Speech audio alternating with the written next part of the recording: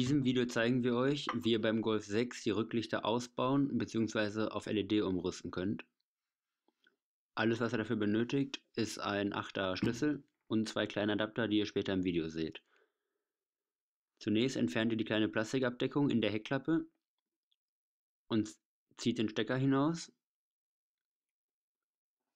und seht dann schon die beiden Schrauben, die ihr lösen müsst.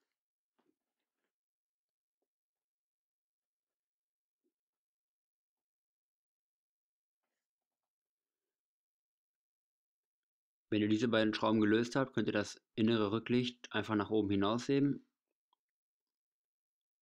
und seid dann schon fertig mit, der, mit dem Rücklicht in der Heckklappe.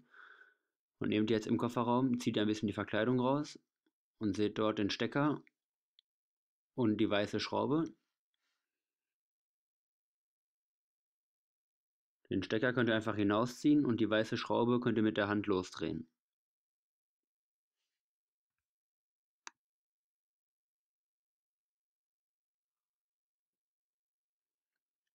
Danach könnt ihr das Rücklicht auch einfach nach außen wegheben. Jetzt seht ihr die beiden Adapter, den Link dazu seht ihr in der Beschreibung und die steckt ihr auch einfach schon mal in die neuen Rücklichter am besten rein. Falls ihr auf LED umrüstet, sonst braucht ihr diese Adapter nicht.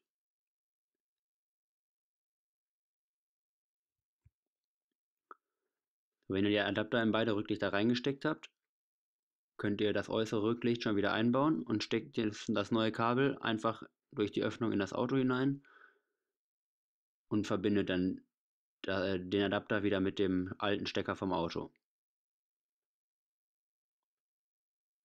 Wenn ihr das gemacht habt, könnt ihr die weiße Schraube wieder festdrehen und seid mit dem äußeren Rücklicht schon fertig.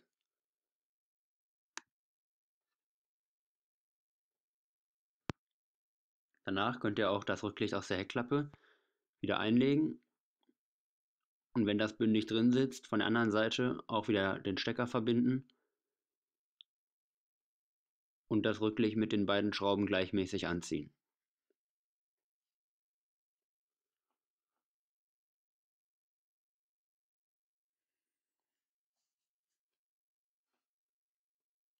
Wenn ihr das gemacht habt, könnt ihr die Plastikabdeckung wieder dran machen und seid mit dem Umrüsten schon fertig.